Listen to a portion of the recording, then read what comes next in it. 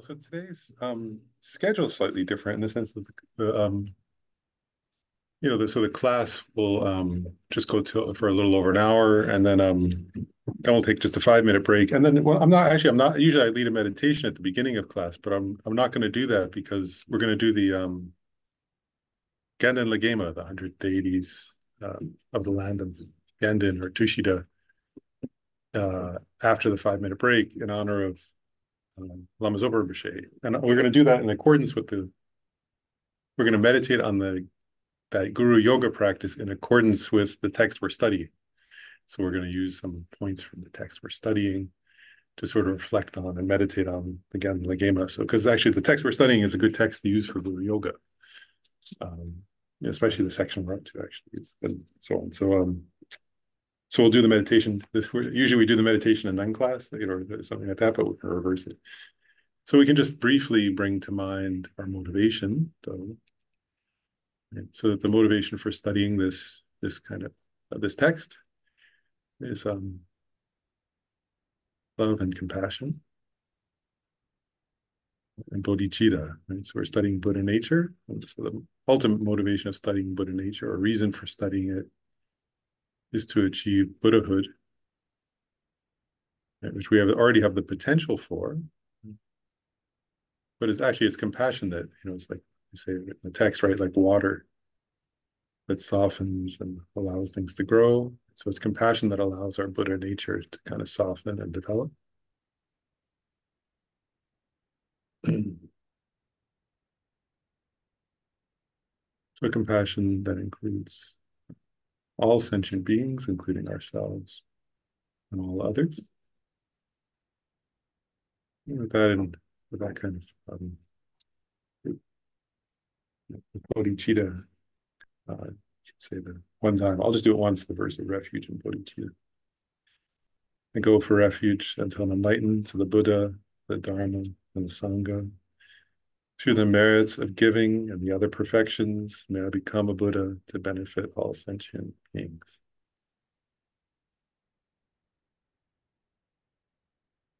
Well, let's just be brief. Uh, today's the um, part of the reason we're doing the after in a few minutes, in a little in an hour or so, we'll do the Ganden Lagema or Hundred Deities of Tushita Pure Pure Land is because today's the one year anniversary of the passing of um, Lama Zopa Rinpoche, Lama Zopa Rinpoche, who's the uh, who was the uh, spiritual director of the whole organization that this center is part of, and was my own teacher. Um, so I wanted to um, also uh, dedicate this class to to Lama Zopa Rinpoche. Or the microphone Is it on? Yeah. Is it close enough? Maybe it needs to be. Well, then it's bad with this. It's hard to arrange all. No, it's a, Is that okay? Is it working out? Let's bring a little more towards my body. See there. That's- that's over. Computer will fall if I take it any further. Is that kind of okay? Folks online? can you hear, Jeff? Can everybody hear? Yeah, maybe the volume should be. a little- Oh, yeah, it's probably the volume.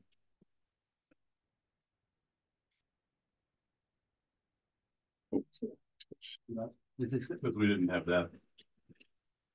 I don't know. Okay, so we're studying, um, we're on the section of the text that covers Buddha nature.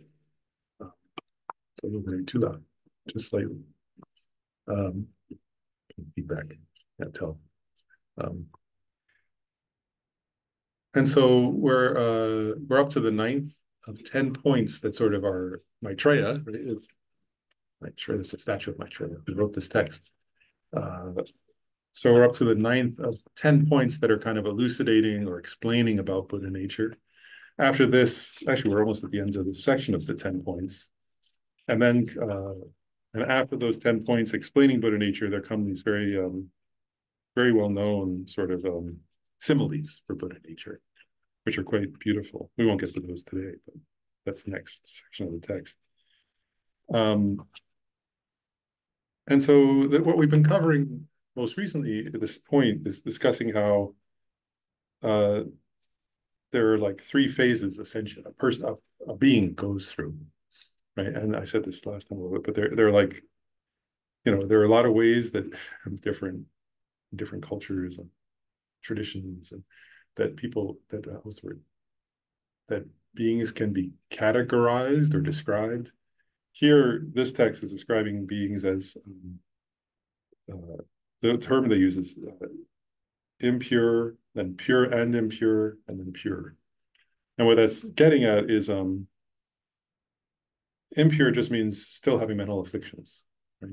Uh, that we still have all our, we still get angry and crave things and are prideful or jealous and are ignorant and so on. So that's the, so the impure isn't describing somebody else, it's describing what's uh, then partially pure and partially impure are those who have seen uh, the ultimate truth directly in meditative equipoise and therefore have eliminated some of the mental afflictions. So they've started the process of eliminating, but they aren't fully. They still have mental afflictions, but they're not, or or, or the imprints of mental afflictions also they can still have. Um, and then they're totally pure are the Buddhas, the fully enlightened beings.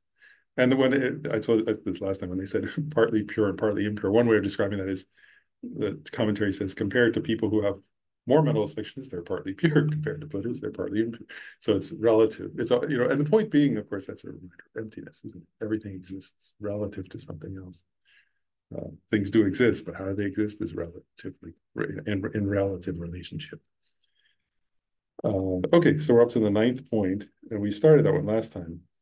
And we've been going through this description in the text of the partially pure and partially impure uh, how one sort of progresses. So the text is sort of describing how, and part of the point the text is making is through all those phases, right? So from being, um, you know, how, so from if you're, you know, if we start with somebody who's like completely overwhelmed with anger or hatred or addiction or something, all the way up to a fully enlightened Buddha, of course, um, the text is saying something about that, which is on the one hand, of course, they change, right? It's a process. On the other hand, there's a, a aspect in which, say it this way, the Buddha nature of that being is unchanged, right? And um, so that even when you're totally covered, you know, overwhelmed with uh, your own afflictive emotions, for example, there's something in you that, that says it's unstained, that's never been um, impure. So, you know, when we say impure, but one's Buddha nature is primordially pure. So it's getting at a kind of point there that's useful in terms of our own practice to recognize, even when we have our mental afflictions, the ultimate nature of our mind is uh, pure from the beginning, say, pure in the middle and pure at the end. it's pure all along. But conventionally, of course, there's a difference, you know, and it makes a difference, doesn't it, from a practical perspective, if you're have hatred or don't have hatred makes it quite a big difference. But that doesn't, but the reason that the hatred can be eliminated is because the ultimate nature of mind was pure all along. Um, so in the verse we just left off with last time, it says, um, this is describing bodhisattvas, like bodhisattvas progress through 10 grounds or bhumis in Sanskrit. And so we're up to the section that's describing bodhisattvas on the eighth to the 10th bhumis. This might be too elementary a question, but it's just kind of simply been on my mind. When you talk about like, the forbidden nature that we all have, um, is that even so with like severe mental illnesses where people don't have any control over things, but they and they really do evil things? And I mean, is that true there too? Yeah, yeah, that's yeah. So the Buddhist view, you know, there's a um yeah, the Buddhist stance really is that all sentient beings have Buddha nature, and so there's the you know the um there's a famous story uh, uh of Angulimala. You know the story. It's a famous story of the time of the Buddha, where um. So uh, actually, his name even Anguli means in I guess uh, in Sanskrit or Pali is that finger? Yeah, finger. But I don't know if it's Pali or Sanskrit. Isn't it? I think it's Pali Sanskrit. or Sanskrit. But uh, anyway, Angulimala means finger rosary, like mala, like a like this, you know, like but he had a he was wearing a he was an evil person who was a serial killer. And he had this idea that if he killed a hundred people, a hundred or hundred and eight, I can't remember which, that he would then, that that was the way to, for him to be happy. And so he had, he had, I think it was a hundred, so I think he had killed ninety-nine people and he kept their fingers, like, horrible, you know, so horrible person. And then, um, he just, he chose this last victim was gonna, and he chose the Buddha. And, um, and so the story goes that he was walking to try to catch the Buddha to kill him. But the Buddha kept walk, kept going just a slightly like the exact same pace, so he couldn't gain on him. But he could, he was he like, he would walk faster and the Buddha would walk exactly that much faster, and then he would go a little faster and, the- and, um. And he could never catch the Buddha, so he's like following, and Buddha was always walking everywhere, of course, that was how the Buddha lived. So, um, finally Angulimala became en- enraged because he was a rageful person and he screamed like stop.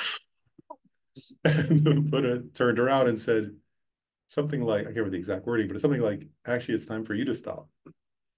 Uh,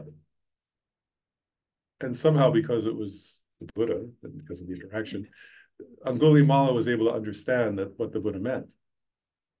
That he didn't just mean stop chasing me. He meant stop killing, but he also meant stop the underlying ignorance and hatred that make you want to kill. And Angulimala stopped and he kind of thought about what the Buddha had said. And then he said, I want to become your disciple because I'm miserable, essentially. And um, and they say that in that very lifetime, Angulimala became an arhat. So he gained meditative equipoise, understood major reality, and, and got rid of his mental afflictions. And that story is often used in, I mean, he's one of the disciples of the Buddha, a direct disciple, who was famous at the time, but, um, or famous in Buddhist scriptures at least, but, uh, that story is often used to make this point that, um, even the worst people uh, have the potential for enlightenment. And in the Tibetan tradition, there's the famous example of Milarepa, right, who killed quite a few people uh, in vengeance for the sort of way he, his family was treated by his aunt and uncle, and then he did black magic and killed people. And It's like angry, but I, I mean like the deranged. Angulimala would be a better example of that, yeah. Exactly. no, so Angulimala is used often as an example to make this point that even the most horrible beings, We're like incapable almost of, I mean, you know, people don't want to be that way on purpose. no, yeah, and so the idea is that is that uh, yeah, even the worst people have Buddha nature. Good question, I think. Um, okay, uh, so and then the, the text is describing bodhisattvas uh, that we're up to this point where so between the eighth and the tenth bhumi or ground, that's the level on which the bodhisattva has eliminated all their mental afflictions, but it's not yet a Buddha. So they still have these um they don't yet they no longer have mental afflictions themselves, but they have the subtle imprints of them that cause dualistic, that cause them to experience things dualistically. So they haven't gotten rid of that. They, it's like um, and I, I've used this metaphor before. It's a traditional one. Buddhism uh, is like the analogy they give to these imprints is like if you had a container of garlic and you eliminate all the garlic from it, it still smells like garlic, um, and it could take quite a while to get rid of the smell. And so that's a metaphor here. These bodhisattvas are like that. They've gotten rid of the mental afflictions, but they still have the leftover uh, subtle effects of that. Um, and so it says of those kind of bodhisattvas, they know, uh, this is on page 13 for those who are following the text, but it says they know precisely by whatever appearance and with which method each student needs to be tamed, whether by teaching, by displaying a form body, by conduct, or by deeds. And so that means um, you know, teaching means like giving formal teachings, like explaining the Dharma.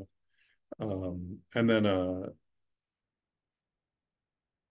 displaying a form body means that they manifest bodies. They actually, uh, the word?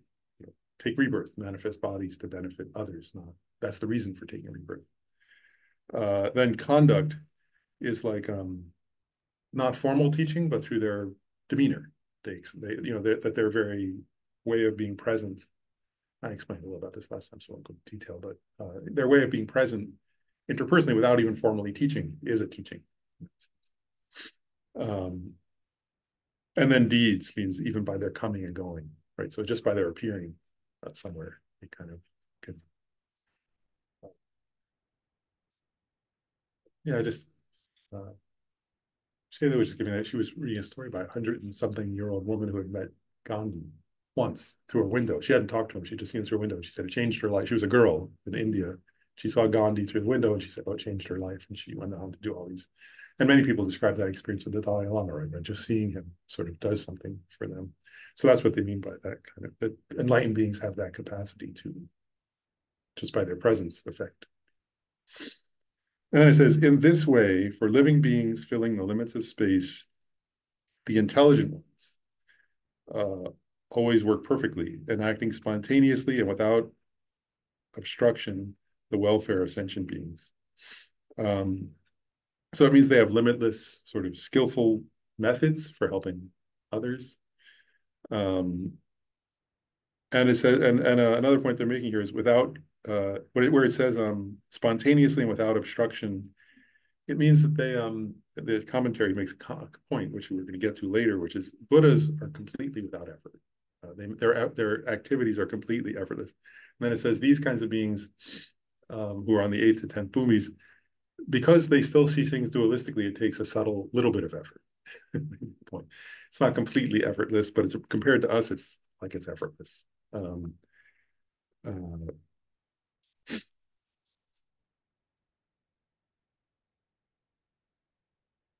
I'm trying not to go too far straight here, but I'll just make one quick comment. Like, I would make this, this makes me remember it just um since uh, Lama Zopa been on my mind a lot.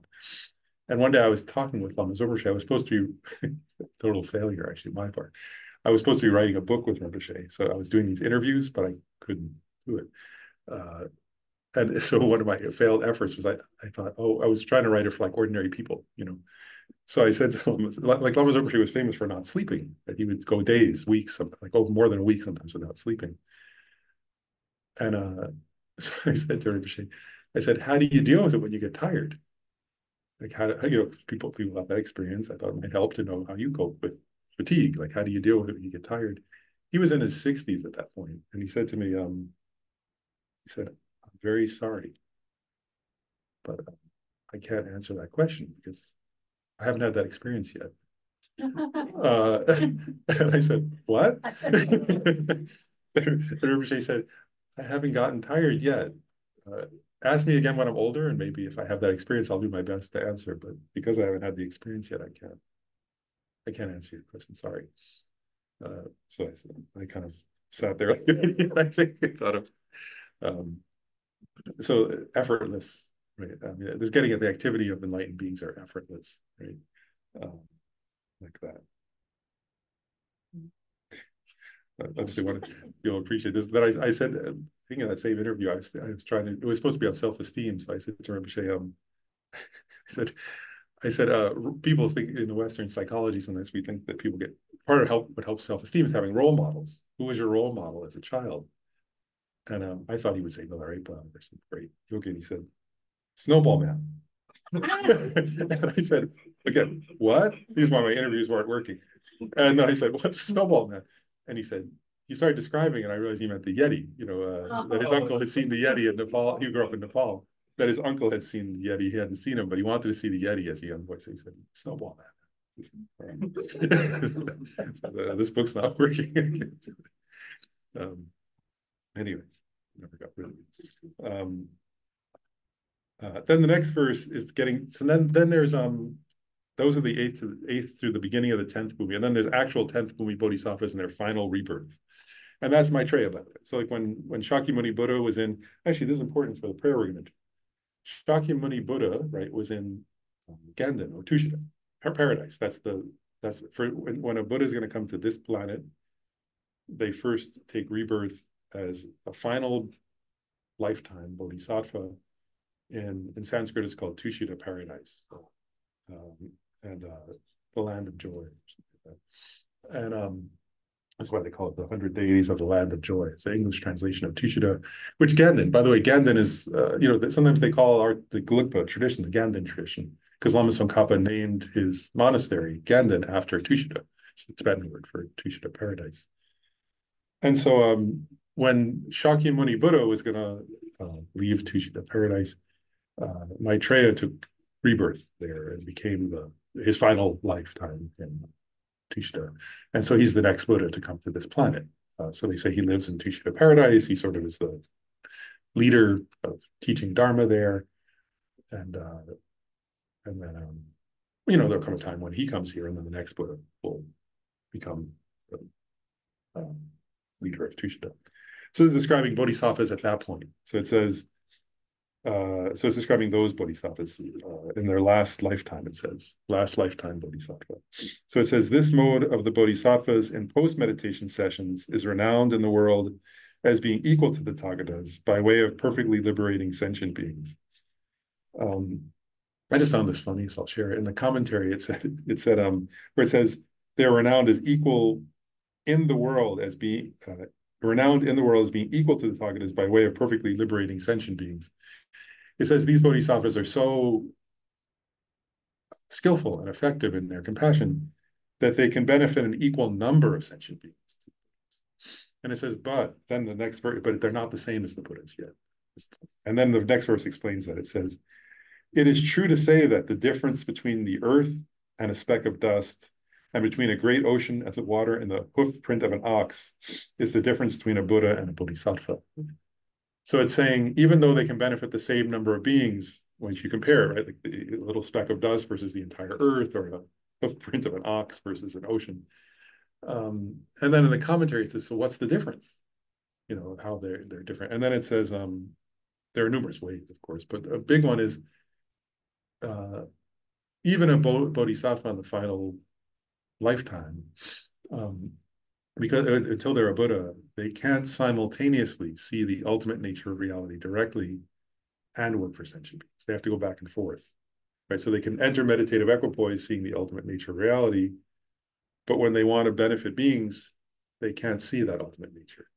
Uh, but a Buddha can do both simultaneously, and therefore a Buddha, and so not that's one way of saying it. Another way of saying it is those beings still have some dualistic experience, whereas the Buddha's experience is completely not dualistic. Another way of saying it is, um, yeah, Buddhas know everything directly, whereas these bodhisattvas don't. And another point is that these bodhisattvas are not yet omniscient, as Buddhas are omniscient. So Buddhas know all knowable things; those bodhisattvas don't. So there are various ways in which uh, even final lifetime bodhisattva is not the same as the Buddha. But then they're making the point, but in terms of actually benefiting be beings, they're very effective and they can benefit the same number of beings.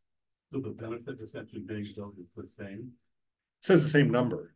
And actually, Gyaltsab Je makes an interesting commentary. He says some people in their com Gyaltsab Je in his um in this comment, you know, his uh, his commentary says some people because he gets at that question that you just raised, Gyaltsab Je, and he says uh some people in the past tried to comment on this verse by saying, well, you know, um, is the difference somehow that, uh, you know, they say that like uh, there's a difference between benefiting ordinary beings and benefiting other bodhisattvas.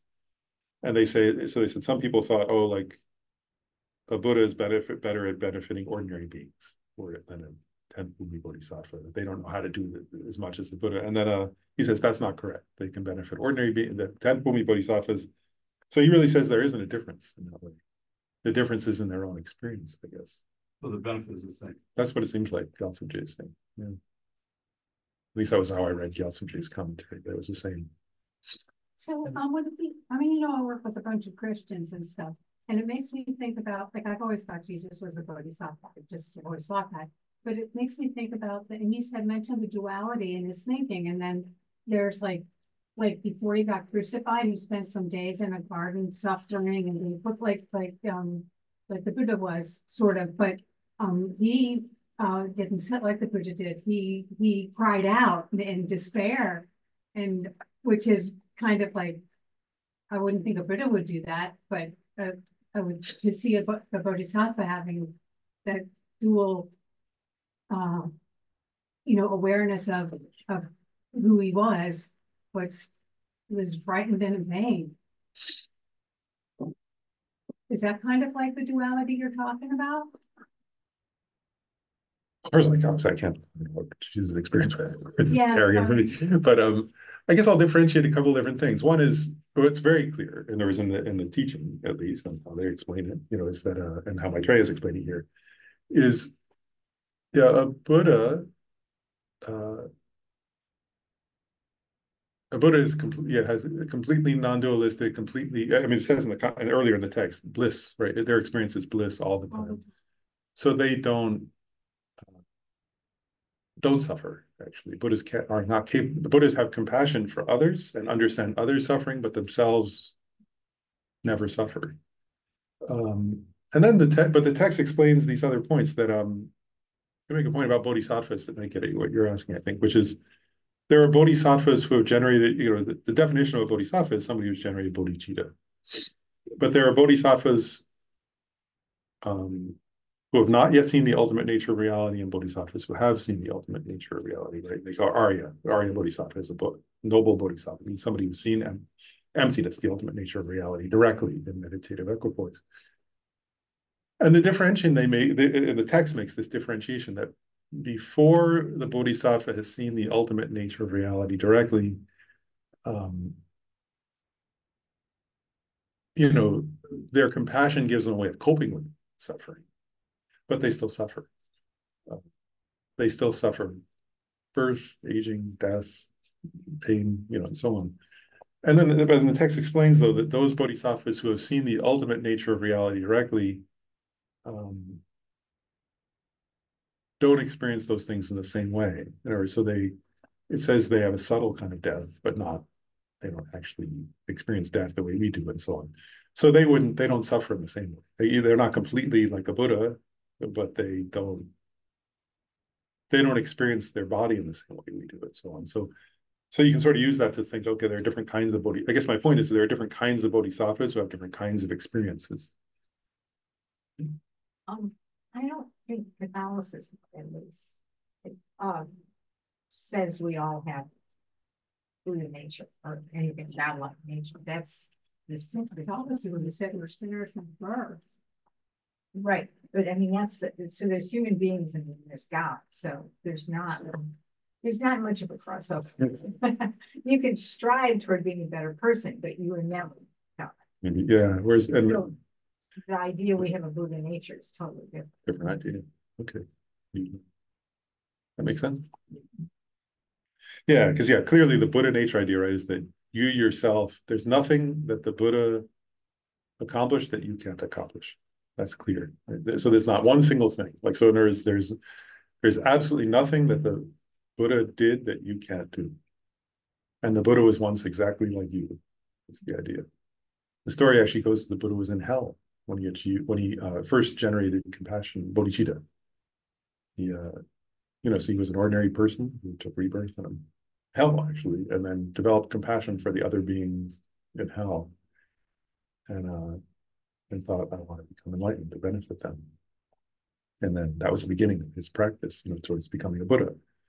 Uh, so the you know the Buddha was worse off than us that day until he became better off than us when he generated compassion like that. But uh, so the idea is that you know Buddha was like us, and you're you can become anything that Buddha became.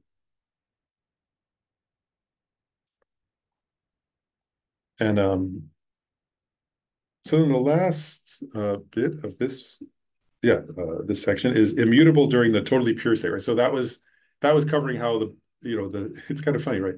You get the point here, which was earlier. Remember that we said the Vajra topics, and Vajra means difficult to penetrate or something. Right? Because what it's getting at here, right, is that it's going through all these different stages, right? I said there were three, right? The impure, the pure and impure, the pure. But then it's saying, well, even among the pure and impure, right, there are 10 levels, 10 bhumis, and so on. Right. So the you know, one can make all these, one can go through all these different levels of progress as one moves towards Buddhahood.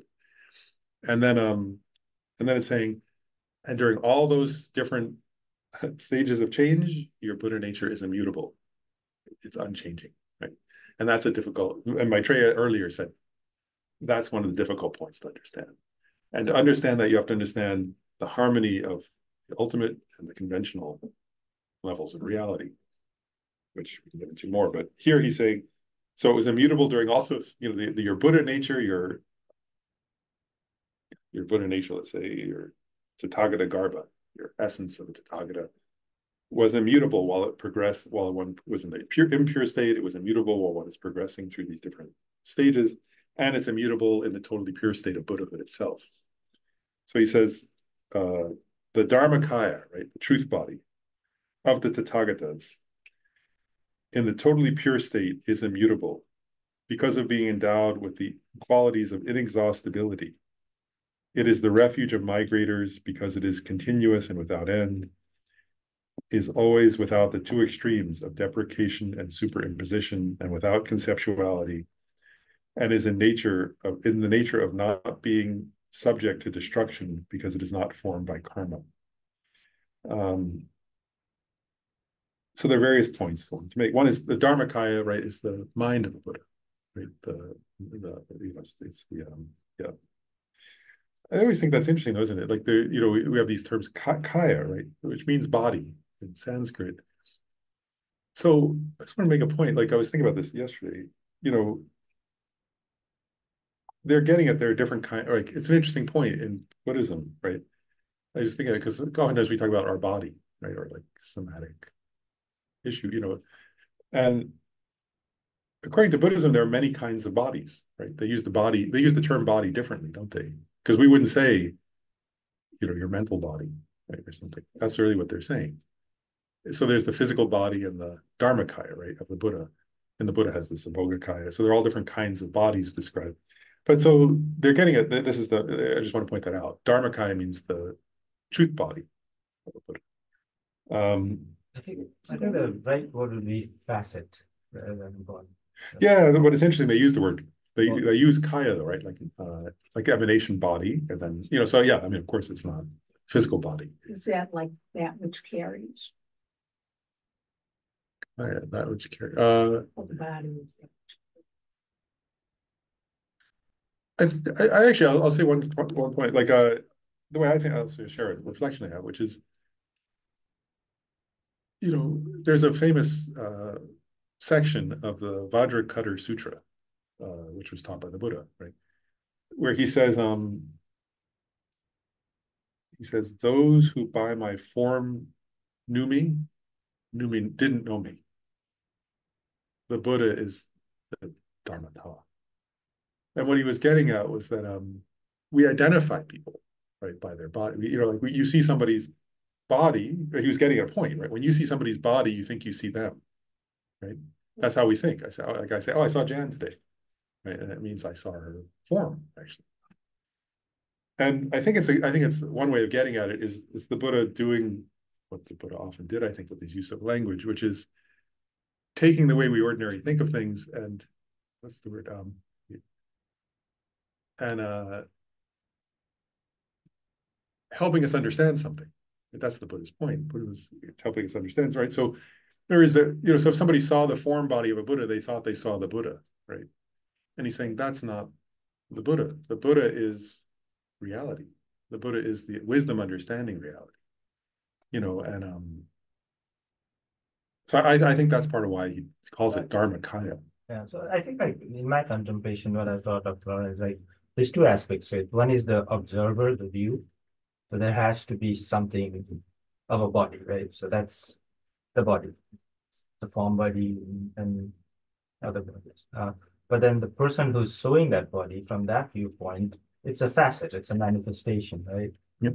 I think from that viewpoint, it's like I'm showing up as this, I'm showing up as this, and it could be literally you could show up different forms at the same time, like you said, because obviously there's no duality for the person, right? So, so there's like two aspects to that. That's how I come to that. Two viewpoints, right? So a facet would be for the the person showing up in different forms, and then body is from the viewership point of view, saying I'm observing the body. So there's something with this. That's how I. My, my, Mysterious point. Yeah. though, yeah. So I, all right, so I, I do kind of conceptually get that if I'm looking at Buddha and I just see his body and not see the dim, the deep spiritual, well, dimensionally, whatever. But when I look at a statue, okay, I look at an eye or a symbol of, like I'm looking at my favorites across. from me. Um, and I know that's not Buddha. That it's symbolic to that non-physical form. And yet, it's in a physical. form. Okay.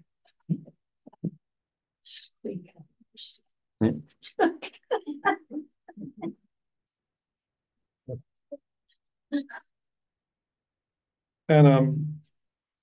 The commentaries on this section, I want to go into a little bit, because it, it makes a point, which is um. The commentaries make a number of points, which are. This, uh. Because it says, uh. Where it says, is in the nature of not being the subject to destruction because it is not formed by karma. It says that there. And the commentaries make a point, which is that uh. Impure beings. And our ordinary beings are.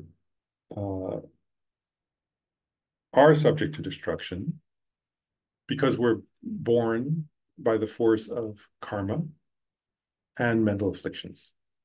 And so other words, that when we you know, we have karma, and when we, it says in the 12 links of dependent origination, for example, when we die, um, our mental afflictions, our, in particular, our grasping at self, right, grasping at existence, uh, activates our karma, and we sort of um, take rebirth, depending dependent upon karma. Um, and then uh, the text has been explaining how partially pure and partially impure beings, uh, so these kind of bodhisattvas, aren't born that way. They're born through the force of compassion, com uh, like so love, compassion, and aspirational prayers. Like so, there's these bodhisattvas, and then they have what they're called pure karma. So in other words, those beings, they're car they have they have karma, but it's not, you know, what there is right? Um, because they don't grasp at things as if they're truly existent. When they do actions, their karma is pure. Um, and so they take birth, they say through compassionate prayers. So when they're dying, for example, they think, may I benefit beings? May I go here? May I go there? You know, um, may I go wherever beings need me most to benefit them? Or may I benefit beings in this way or that way? Um, you know, and so they have these kind of what's called bodhicitta prayers, uh, and they take rebirth through the power of those kinds of prayers and through their pure karma, right? So they benefit. Right? So an example would be like there are many examples in Tibetan uh, Buddhist history, like where being, you know, bodhisattvas like benefited some person and then said something to them, and then they take rebirth later as their child, and so on, and that through the prayer of, you know, sort of their connection to that person. Um, and here this is saying, uh, say it this way, because even that pure, I'll say it this way, um, because of that pure karma, right, they can take rebirth through love and compassion. Uh, and so they don't experience life in the same way because they have a different kind of cause for their life. Uh, their life takes takes effect for a different reason due to a different force. But it's still impermanent. Right? It's still arisen through the power of a particular prayer, of a particular aspiration, of a particular pure karma. Which is karmic. Which is still karma. It's pure karma, but it's still karma. And then it's saying the Buddhas don't have that. The Buddhas don't uh, don't take rebirth through the power of even pure karma. And so therefore the Buddha is not subject to the same um what's the word? Forces, yeah, uh, effects. And so it says, and I'll read the quote. It says the Buddha is uh, free from impure karma and also free from pure karma, and therefore is beyond birth and death. And um and I, I guess um and there are various points in this text which say, say uh the Buddha isn't born, the Buddha doesn't die. For me, I felt actually yesterday as I was preparing for today's class, I felt quite moved, thinking, "Wow, it's funny that it fell on the uh, one-year anniversary of we're on the section uh, one year anniversary of the passing of Lama Zopa Rinpoche, and we're up to a section that's pointing out that Buddhas don't aren't born, the Buddhas don't die. Um, so interesting, uh, and that's what it says next. There is no birth and no death. There is no harm and no aging. Therefore, the Dharmakaya of the Tathagata is permanent, constant, at peace, and unalterable. Uh, And there's another section of the text that says, is describing this, right? It says, um, according to the merit of beings, they have an appearance of certain things. But from the Buddha's own side, there's no experience of of the aging. There's no experience of birth. There's no experience of death. Um, and what this is getting at, right, is um, and again, it goes through the commentary here where it says it says because it says there's no birth, no death, no harm, and no aging. And um and the earlier it said uh permanent, uh, permanent, constant, at peace and unalterable. So that's that's related. There earlier it had those terms. Um so I'll make a few points. One is um it's permanent because it's unconditioned, right? Um, you know, and even Arya Bodhisattvas have a kind of mental body, they say, that's conditioned, a conditioned phenomena, but the Dharmakaya is unconditioned, which means it's an emptiness, right? That which is unconditioned means emptiness, right? Um, which means it doesn't arise due to causes and conditions. That's what I mean. Unconditioned means not arisen due to causes and conditions. So it's getting at um, it's getting at a few points here. One is really you'd have to say the nature body of a Buddha, right? Is the uh, emptiness of the Buddha's mind. That is unconditioned because it's an emptiness. It's an ultimate truth. Um, but then um,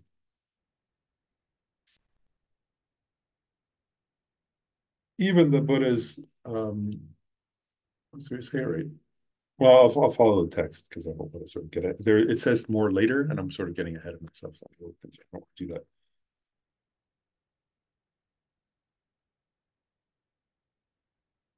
So it says here, the Dharmakaya of the Tathagatas is not born with a mental body. That's what I was starting to get ahead of. So um, because it is permanent, it does not die and transmigrate with inconceivable transformation because it is constant.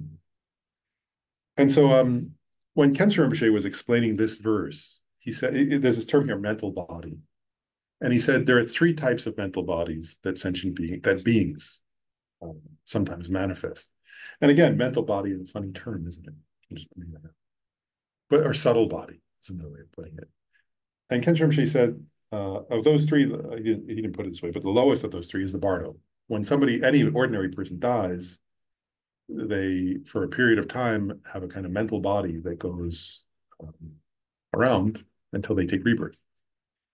And that mental body of the Bardo being is made by the subtle energy and the mind of that being. Uh, and that's completely controlled by karma, mental afflictions if you're an ordinary person. And he said, so a Buddha is free of that. Um, then uh, arhats, he said, the arhats who are who achieve individual liberation have a kind of subtle mental body that they abide in, in a pure land uh, when they've achieved arhatship and they're sort of um, dualistically escaping from samsara.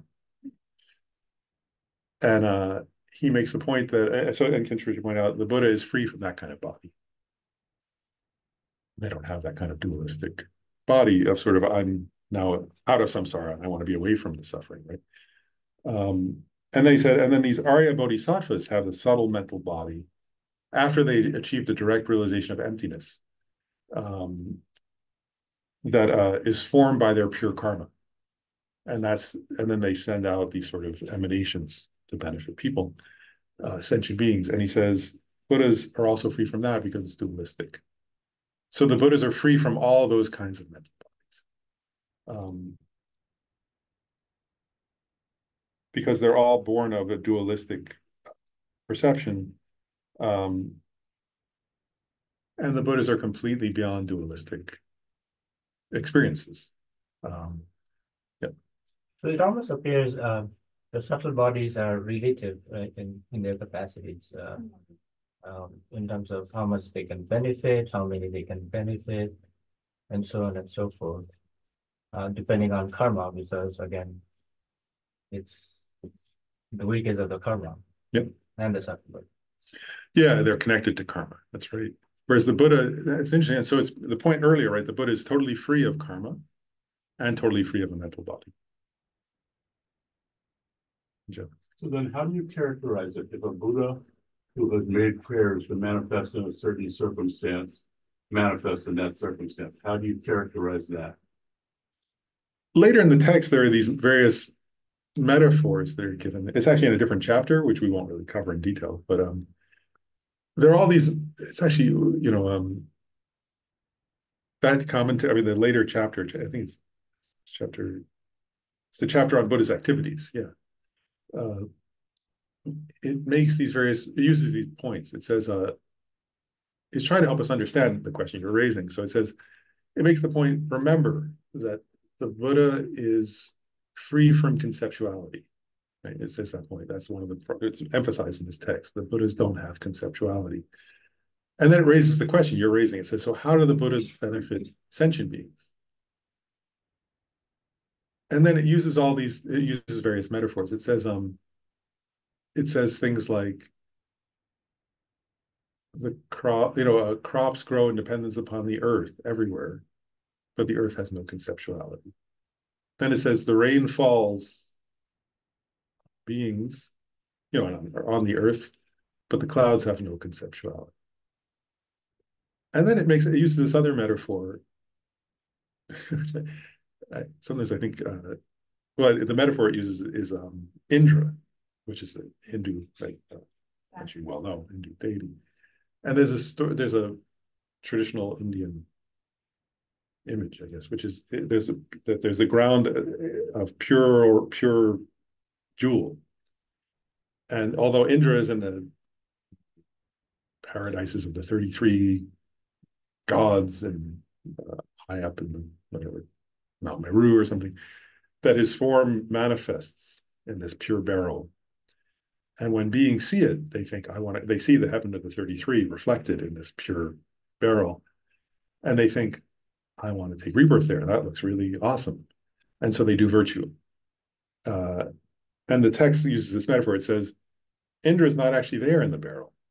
You know, he's not, but it benefits beings because they think, oh, that heaven looks quite delightful. I want to take rebirth there. And they do uh, good things. They create good karma. So it just is. Uh, yeah, and he says, and well, the text says that pure beryl is a metaphor for the mind. It says, if your mind, if you pure to the extent that you can that you create the karma, the pure, pure enough mind, you'll see the form of a Buddha and you'll do virtuous activities. And it says the Buddha doesn't exist outside your, you can't say the Buddha exists outside your mind. You can't say the Buddha exists in your mind only.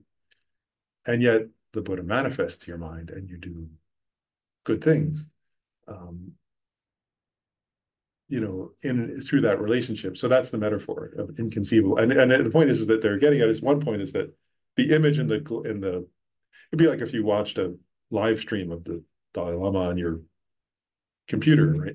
There's no conceptuality there in the computer, and yet if you follow that advice, you practice, and it'll be quite something remarkable.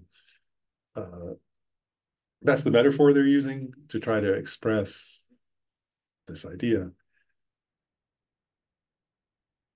You know, so that, that's the answer from the text perspective. Uh, you know, it's beyond my conceptuality, of course, but um,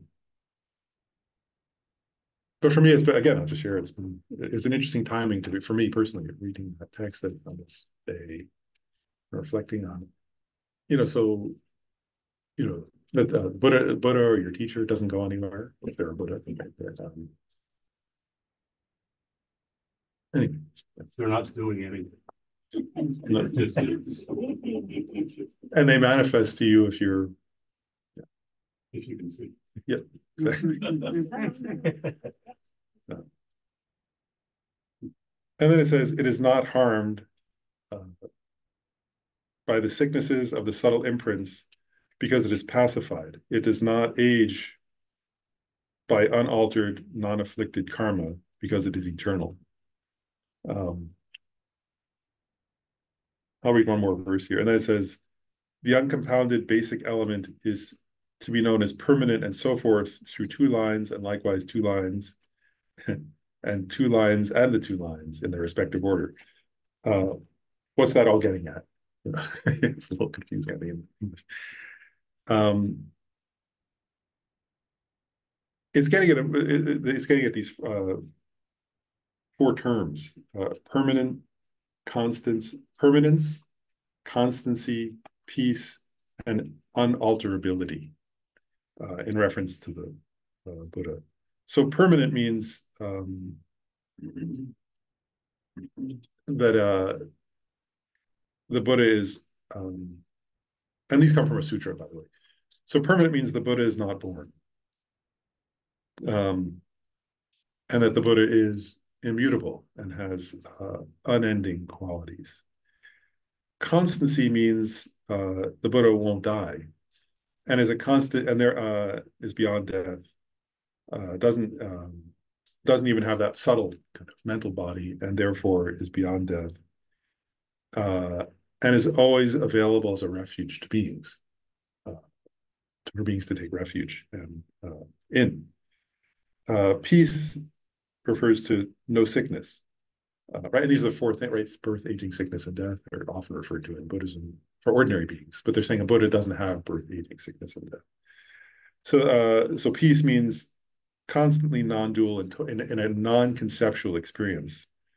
So, and that because they're non-conceptual, they're beyond dualistic experiences and beyond um, karma. And then inalterability means no aging. Uh, so not subject to destruction because they're unconditioned. Right? And part of what this is getting at, of course, is um, that what's being emphasized here is the Buddha's um, emptiness and the Buddha's mind directly perceiving emptiness, right? So when we think of the Buddha, this is, I mean, if you if you feel uncomfortable when you're reading these things, right? Like there's like if you're thinking, uh, that's why I mentioned that quote from the Vajrakuta Sutra. It says, "Those who by my form did see me didn't see me. I'm the I'm the Dharmata or the Dharmakaya." Right? It's getting at an emphasis on the Dharmakaya, right? That the nature of the Buddha is the Dharmakaya. Um, and that's connected to your own Buddha nature. Um, so it says, because the Dharmakaya is endowed with limitless qualities, it has the meaning of being immutably permanent. That's what it, these are the four terms. Because it is equal to the limits of samsara, it has the meaning of being constant, a constant entity of refuge. Uh, because it is in the nature of non-conceptuality, it has the meaning of, of pacified reality, free from duality of the two extremes because it is endowed with the qualities of not being produced by the two kinds of karma, pure or impure. It is not subject to destruction, meaning uh, this is the meaning of being eternal. Um, and uh, another point there where it says not grasping at extremes, so it's not grasping at the extremes of um, permanence or annihilation, right? So it doesn't grasp at things as if they're, on the one hand, permanent or even um, independently existent, but it also understands that things aren't uh, non-existent. It's not nihilistic. And again, th that's the hard, you know, Gyaltsab Je in his text points out that's the hardest point of Buddhist philosophy, understanding the, the harmony of that um, because that, that, well, one way to put it, the harmony of the conventional truth and the ultimate truth, or that um, Dependent arising implies emptiness or is a synonym for emptiness, and emptiness is a synonym for dependent arising. Uh, because as soon as you say dependent arising, things seem to have their own intrinsic quality, but they don't have intrinsic qualities. If they did, they mm-hmm. couldn't be dependent, right? That which is dependent, it's quite difficult, but it's actually it makes sense if you let's say right like this. I've said this example before, right? Like as soon as you say this is the cause of that, right? it seems like this is a cause and that's a result, right? But the cause isn't the cause in the absence of the result. It's only a cause relative to that result. And a result is only a result relative to that cause, right? And um, the result, what we're calling the result seems like a result, right? But in the in a different context, that result could serve as a cause of something else, right? And what we said, oh, that's the cause. It felt like a cause, right? It's actually a result of something else, right? So it's not a cause or a result from its own side. But it, it's correct to label it a cause or a result, independence upon uh, context, isn't it? So things lack independent existence or lack an independent nature. Um, but they're not non-existent as that, right? You can't, if you say, oh, therefore it's not a cause at all, that wouldn't be true, would it? It is a cause, but only relative to the result and only through a process of labeling it. relative to one thing, right? And so everything exists that way. You exist that way, right? There's you exist, but you don't exist, seriously, right? Intrinsically. And any role you play, it doesn't exist intrinsically. It only exists. One way to say it is relatively to something mm-hmm. else. But another way is to say, and- and that's easier in some way. What's harder actually is to say, so therefore, by labeling. You exist in a particular, you know, any version of yourself that you grasp at. Doesn't exist intrinsically. That's a simple way to put it. Um. So anyway, that, that ends that ninth point, right? That the, um. That those, uh. s- Sorry, the, the level of the, you know, at those different points along the path, right? You get the sense here, right, that, that one is progressing. And yet, another way of putting it is, one, you know, it's kind of funny, right? One is progressing through these different levels of the path, right? And that's accurate conventionally. Just like it's accurate to say the cause is a cause relative to a resu- a result. But the cause lacking independent, sorry. An independent essence as a cause, right? That's what I was getting at a minute, a minute ago. Same point applies. As you go through different levels of the path, conventionally you can talk about, oh, this person's on the first bhumi, or this person's a Buddha, or this person's an ordinary being. But actually, their being an ordinary being only exists relatively. Ever, right? It, it only existed relatively ever. It never existed in some other way. It never existed intrinsically. If their being an ordinary being existed intrinsically, then they could never become enlightened, right? Because if they were intrinsically an ordinary being, then they would always be ordinary being, right? So beings, you can say if you like, if I feel, let's say, if, if a person is filled with craving or anger or something, they're ordinary, right? But they're ordinary relative to, you know, so you say, oh, because they gave rise to, they give rise to these kinds of afflictive emotions, you can label them and say, you know, compared to a Buddha, they're ordinary, right? But it's compared to a Buddha, so it exists relatively. But they're not intrinsically ordinary. If they were, they wouldn't have Buddha nature. And everyone has Buddha nature, right? And that lack of that lack of a independent essence is your Buddha nature, right? And because you lack an independent nature as an ordinary being, your nature is such that you can become an enlightened being. Um, and a Buddha's lack, and, and, and the Buddha themselves lacks an intrinsic nature as an enlightened being. If they had it, they would have always been enlightened. And then they went to, you know, but they, they weren't. They became enlightened, right? So, um, Buddha nature is intrinsic. yeah. But it- actually, what's interesting is Buddha nature is intrinsic to all beings, but it's not intrinsically existent. That's an important distinction that Lama Tsongkhapa makes very careful. He makes those kind of distinctions very carefully in his teachings on emptiness. He says the ultimate truth. He makes this point in the Lamrim Chenmo actually, where he says the ultimate truth is the ultimate nature of things, but it's not ultimately existent. He said if it were ultimately existent, then um, it wouldn't be discoverable. Right? Uh, so he says the ultimate truth is is what you find when you examine things on the ultimate level, but it's not ultimately existent. It's conventionally existent also. So he makes that distinction just Can So you define Buddha- intrinsic? intrinsic. Intrinsic, can you define it? Oh, intrinsic, yeah, existing independently. Yeah. I just, I make sure I'm on the same page. Yeah, no, good question. Yeah, so intrinsic means existing independently. And and what Buddhism is really saying is things things exist interdependent, not independent. That's why. So say that's why we say that things don't exist intrinsically. What it's saying is they exist relatively or interdependently or inter through interdependence, not intrinsically meaning not independent, Including Buddha nature. including Buddha nature. So Buddha nature is not intrinsic.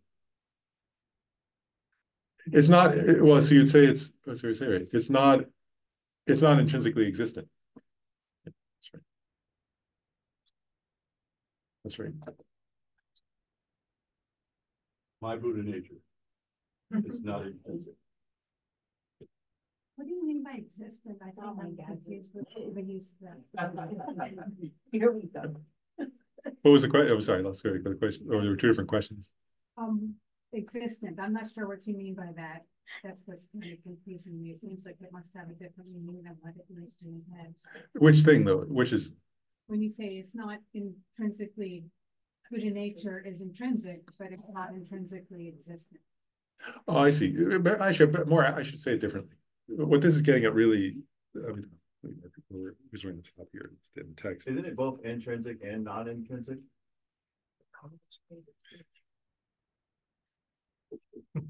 Like, can it be both? Buddha nature, you mean? Yes. I would say yes, yeah, why not?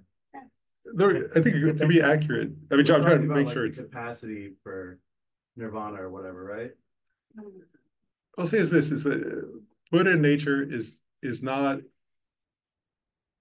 Is not, uh, one, I think, uh, the commentaries make two points. One is Buddha nature is not intrinsically existent. That's clear. It's very clear in the commentaries and in the Buddhist tradition. And at the same time, the way they actually say it is, um. All beings have Buddha nature at all times. That's probably a more accurate way to say it. So like, there is, it's never. So maybe I wish, I wish, I shouldn't use the word intrinsic though, if, if, intr- you know, a better way to say it is. All beings always have Buddha nature, or Tathagata Garbha is, is the final nature of beings. You know, and that any being who has a mind has Buddha nature. That's their accurate way to say it. Uh, but it's not intrinsically existent in the sense that it doesn't exist independently. And the simple way to put that is, put it this way, Buddha nature is the, is actually, what it actually is, is the final nature of your mind. Right? So wherever there's mind, by definition, there's Buddha nature because it's the ultimate nature of mind. But to say it exists, uh, what's the word? It doesn't exist independently because it depends upon mind, actually, right? It's the nature of mind, right? So it doesn't exist independent of the mind. You don't, that's why you can't say like a rock has That Buddha nature nature. exists based on causes and conditions, the nature exists based on causes and conditions. No, So therefore it's intrinsic. Buddha nature doesn't exist on causes and conditions. it does, yeah, it doesn't Right, exist based on causes. Uh, no, but it- I guess, But- and if intrinsic means, you if we say intrinsic means independent, there's, there are different, oh, actually, I'll clarify it this way. There are three kinds of dependence described in Buddhist philosophy. One is dependent upon causes and conditions. Buddha nature is not. Another is dependent upon parts. Right, things can be dependent upon their parts. Buddha nature is not that. The last one is dependent upon a label, Dependent on, label, on labeling. Merely labeled, say. Buddha nature is dependent upon. So it's not, so it's not independent. Because it- it's dependent in the third way, which is not, which unconditioned things are, and that's why actually in Buddhism, in Buddhist philosophy, see, all unconditioned things. Are still empty because they're still dependent, but they're not dependent upon causes and conditions if they're unconditioned. So space is also, like space is an example of an unconditioned thing. Space is unconditioned, so it's not dependent upon causes and conditions, but it is dependent arising. And the same with mind, the ultimate nature of mind, not dependent upon causes and conditions, but it is dependent arising. Actually, we're gonna pause there because we're gonna do a meditation. And we're, because we're at the time, we're supposed to, uh, what we need to do though is take a, oh, um.